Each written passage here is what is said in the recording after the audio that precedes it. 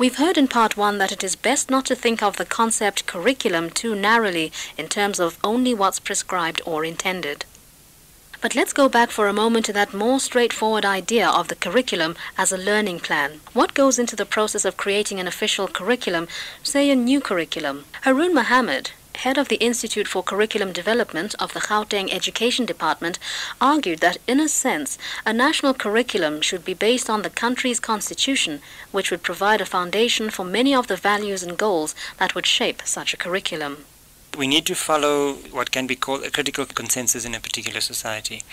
Um, so, in South Africa's case, I think the constitution represents that minimum broad agreement, which says that based on the history of the country and based on whatever the experiences of the people are, those are the things that people think are desirable uh, ways of governing a society.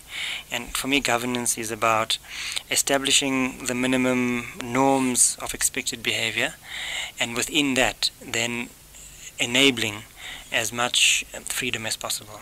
The curriculum, I think, um, is intended to follow the same process. That you say for particular age levels or levels of performance, you need to meet certain minimum expected requirements, and within that, as much variety and freedom should be encouraged.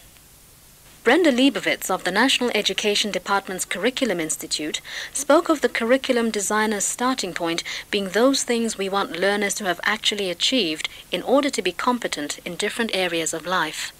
I think if we look at the notion behind outcomes-based education, it's we're really looking at is the end product, which is what we want the learners to have achieved to be able to do at a certain point. Then one is supposed to be designing down from that and saying, well, if they need this at a certain level, first of all, let's unpack that. What is that outcome? And then let's unpack that downwards to the lower levels of schooling. So, for example, when they designed the outcomes for the general education and training phase, they worked down from what they thought people actually required for the end of schooling and went back from that. And I think that's a very powerful way of looking at the curriculum, and it can be used at all levels. It's what we want a student to be able to achieve. We asked Brenda whether developing a national curriculum was a fairly scientific process in which planners would know what knowledge was important to include in the curriculum. Well, it's, it's much more complicated than that. Maybe I could just sketch some of the complications. I, I wouldn't be able to sketch all of them. One of them might be level of expertise of the people who are designing the curriculum. Another one is politics. What is people's understanding of two issues here? The one is what is the understanding of curriculum? Who should be designing the curriculum? In this country, the notion is that we extend as much control as possible to the people in the provinces. In fact, they're the ones who are supposed to be doing the curriculum. And then to the educators so that they have a professional participatory role. Now, that is a political stance that everybody should be playing their role. But another sense of politics is the values and attitudes that we are espousing. Take a subject like language, how we understand language. It's, it's also political. Do we understand it as something where we need to be teaching 12 or 15 or 17 year olds mainly poetry and high drama? Or, or do we think it's really important that people can use advertising or the language of the community in, in a literature lesson? Now, that's partly a political issue. So it is complicated. It's complicated for other sorts of reasons as well. For example, we're trying to overhaul a system and make it more efficient and more effective. So you've got conflicting priorities. Can people spend all their time and the kind of money we'd like on improving these outcomes and these curriculum statements? Or should be spending more money improving the buildings, the school buildings? So they're competing interests in that way as well. Brenda Leibowitz has given us a glimpse of the complexity involved in developing a new curriculum and some of the issues that planners need to try to resolve in deciding what knowledge to include.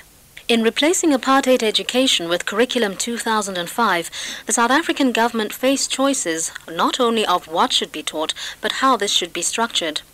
When Curriculum 2005 was still the official policy, we asked Penny Vinjevold of the Joint Education Trust about the move from a subject-based curriculum to an integrated curriculum.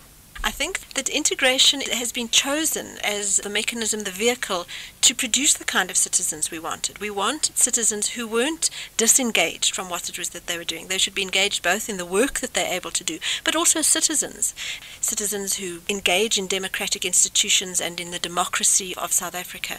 And it seems to me that we've forgotten that that's the big goal and that integration has become an end in itself. What teachers seem to be mm. doing sometimes is just making absolutely sure that they're integrating with other subjects and with everyday examples, rather than saying, How do I make sure that my students are able to apply these things in their daily lives? So, for example, somebody was going to teach bar graphs, and they gave the learners newspapers and asked them to look for crimes in reporting of crimes.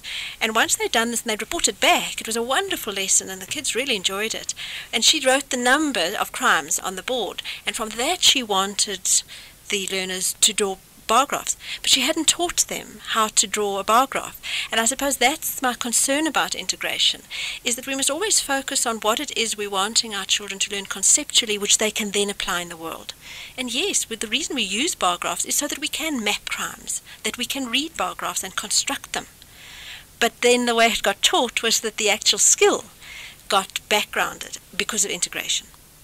As Penny Vinjevold pointed out, Curriculum 2005 provided a good example of the difficult issues that curriculum planners need to resolve if they are at all concerned about how a curriculum will work out in practice. Not only the selection of knowledge that is to be taught in a new curriculum poses a problem, the way that knowledge is structured can also present real problems when it comes to how teachers interpret what it is they need to do in the classroom. It is to that very question of what happens in practice that we now turn to in part 3 of this audio tape.